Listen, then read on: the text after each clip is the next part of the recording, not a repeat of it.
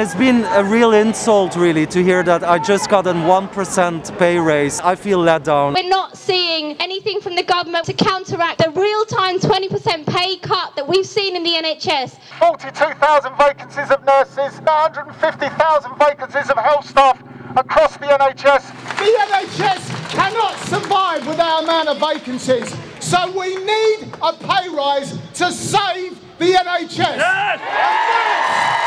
That is what these people don't understand. We've seen how hard NHS workers have worked during the pandemic and how tough the last year has been for them.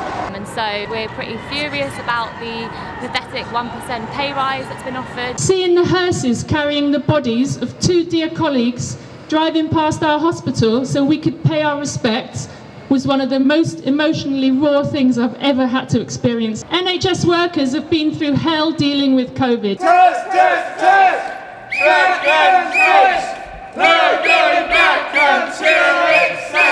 We've had to come together, take collective uh, action to demand safer schools. In January, as educators, lots of us put in Section 44 in our school and we were the ones to kind of push back against the government's unsafe plans. Protect the NHS!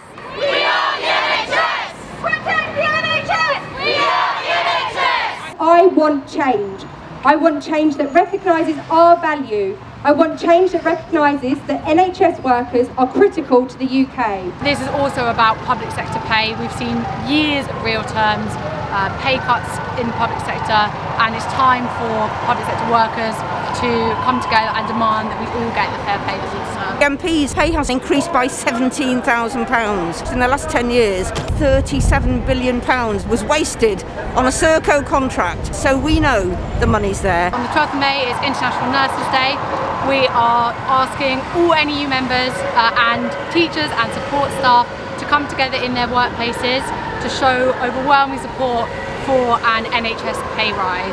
So we're going to be taking pictures with signs saying that we support the NHS pay rise in our staff rooms, on the playground and just sending the loudest message we can that we support the NHS workers.